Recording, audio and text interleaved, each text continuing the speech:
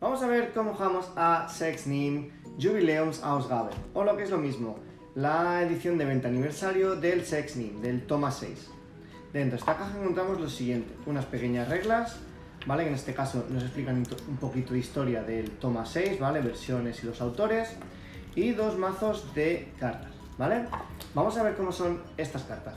Este es todo el contenido de esta edición venta aniversario, ¿vale? Para los que ya conozcáis Sexnim o Toma 6, em, ya sabéis qué tipo de cartas nos encontramos, ¿no? Son cartas numeradas del 1 al 104, ¿vale? Y estas cartas pues tienen dos cosas, el numerito de la carta y las cabezas de ganado, los bueyes, ¿vale? Que nos otorgarán puntos negativos. Algunas tienen solo una, otras tienen bastantes más, ¿vale? Como por ejemplo este 88 de aquí. ¿Qué diferencia también esta versión de las otras? La parte de detrás. Como veis, la parte de detrás es dorada. En las otras sabemos que los toros son azules, son igual que el fondo este, ¿vale? Pues esta tiene esta parte dorada.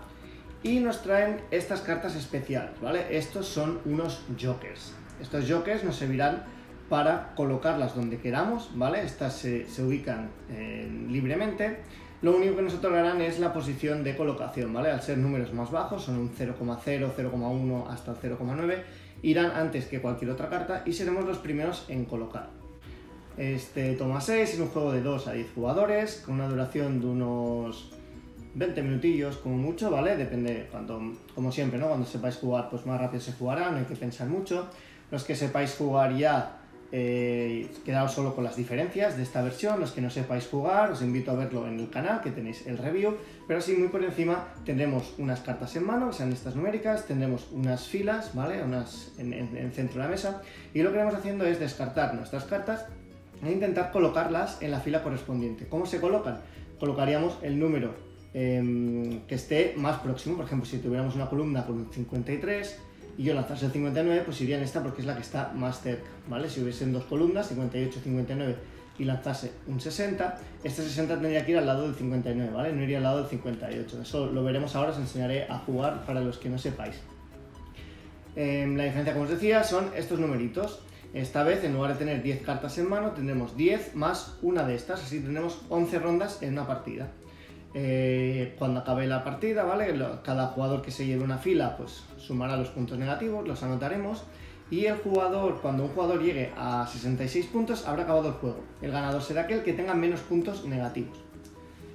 Dicho esto, voy a montar un pequeño gameplay, no será muy largo, ya os digo, los que no sepáis jugar os invito a ver el, review del Sex Nim y haremos un pequeño review para que veáis cómo funcionan estas cartas de Joker. Para preparar el setup de esta edición de Toma 6 tendremos un paso previo, ¿vale? Cogeremos primero los jokers, ¿vale? Los mezclaremos y repartiremos uno a cada jugador. En este caso haremos una partida de dos. El resto de jokers los mezclaremos en la baraja de juego. Una vez mezclados, repartiremos 10 cartas a cada jugador, igual que en el Toma 6 clásico. Y pondremos cuatro filas de juego, ¿vale?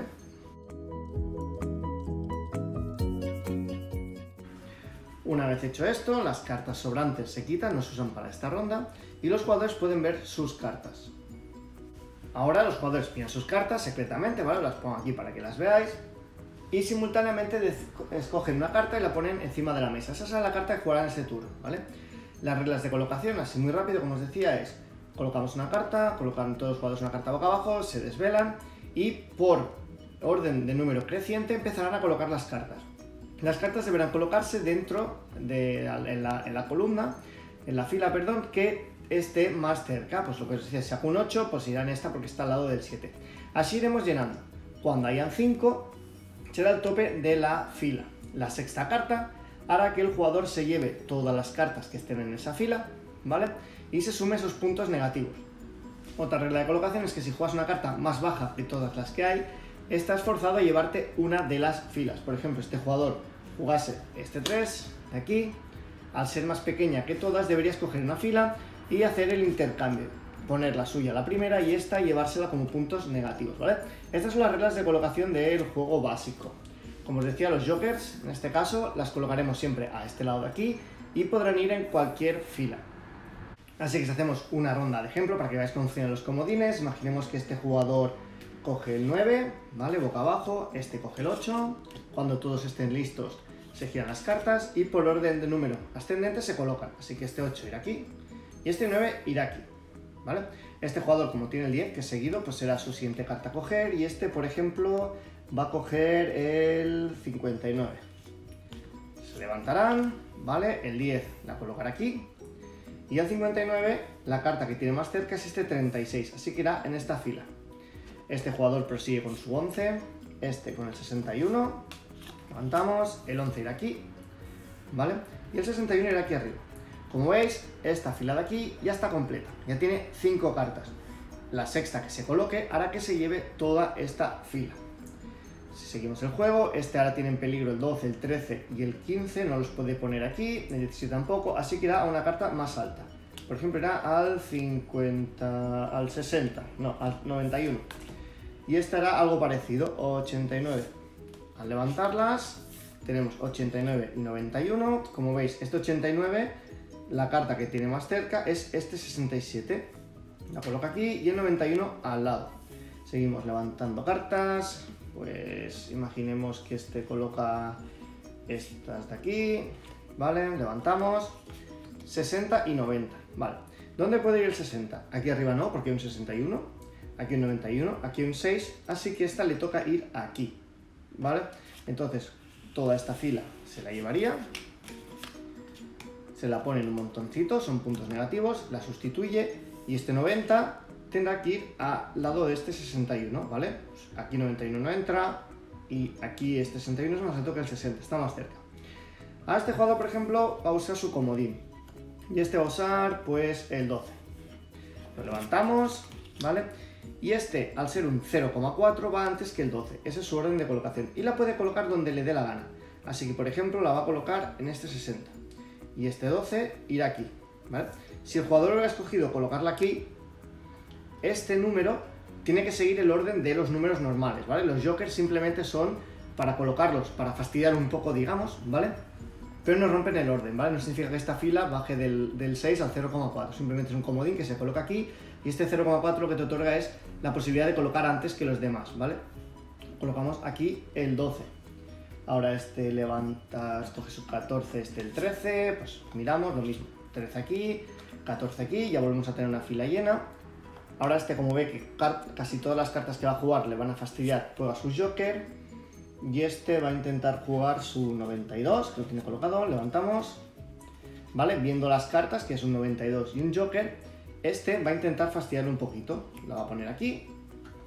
Y este colocará su 92. Otra vez. Vemos que sigue la línea, ¿vale? No tienen por qué estar los jokers seguidos. Podrían ir en caso de que los jugadores quisieran jugarlo. Ya veis que tenemos dos filas llenas. Vamos a levantar cartas. Este, eh, como tiene un 15 y un 17 que sabe que se va a esta fila, va a jugar el 58. A ver si este jugador de aquí juega una carta más bajita. Este tiene un 3 que se llevaría una fila seguro, un 16 que se llevaría esta y el 98 que se llevaría esta de aquí. Así que, por ejemplo, le conviene a lo mejor jugar el 3. Levantamos, 3 y 58. Pues el 3 tiene que escoger, porque no le entra ninguna, se llevará una fila. Contamos los números de cuernos, ¿no? de cabezas de ganado, y vemos que la que tiene menos es la del 60. Así que hace el cambio aquí abajo. Y ahora este 58 aquí no puede, que es un 90, 92, el 3 es muy bajo, le toca comerse la fila del 14. Así que estos puntos también para él. Ya solo nos quedan dos cartas, a punto de acabar la ronda, pues este juega el 15 y este el 16, levantamos, pues 15 va aquí y 16 va al lado. Y las últimas cartas, 17, 98, este la coloca tranquilamente y este 98 fuerza que nos comamos esta fila de aquí. La llevamos y cambiamos, ¿vale? Con esto hemos acabado la primera ronda del toma 6, ¿vale? Giramos, contamos el número de cabezas de ganado que se ha llevado cada jugador, los anotamos en un papelito, ¿vale? Y preparamos la siguiente ronda del mismo modo, entregando una carta de Joker y las demás, y las, demás las dejamos mezcladas en el mazo. Así iremos jugando hasta que un jugador llegue a 66. En ese momento se acaba el juego y como os decía, el jugador que tenga menos puntos será el ganador. Este toma 6, como habéis visto, pues para los que conozcáis la franquicia de los toma 6 de Amigo, pues solo incluye estos comodines. Bueno, reeditaron esta edición para darle esto y pusieron este back de las cartas un poco más chulo, más eh, brillante así en dorado. Pero por lo demás tiene, es la misma esencia, ¿vale? Podemos jugar como os he enseñado, se puede aplicar las reglas de jugar también a la izquierda, que para los que no sepáis es que si jugamos una carta más baja, pero que encaja por el otro lado, la podríamos colocar, pero solo la primera, porque el siguiente jugador ya no podría ubicarla aquí en medio, ¿vale? Pero esto es una regla un poquito más avanzada del juego. Y por lo demás, no cambia mucho, ¿vale? Em, si os hace gracia tener ediciones especiales, pues podéis tirar por esta. Hay la edición del 25 aniversario, que también la tenéis por el canal, em, que es así que mete alguna cartita especial, no tiene los comodines, pero tiene, las, tiene unas cartas especiales que nos otorgan unas acciones que potencian bastante el juego. Y hasta aquí toma 6 edición 20 aniversario. Decidme en vuestros comentarios si lo tenéis, si lo conocíais. Eh, no sé si es muy fácil encontrar, no sé si aún estará a la venta, que hace tiempo que lo tengo por aquí por casa, en, todo el cúmulo de juegos del Toma 6. Y si os ha gustado el vídeo, dale like.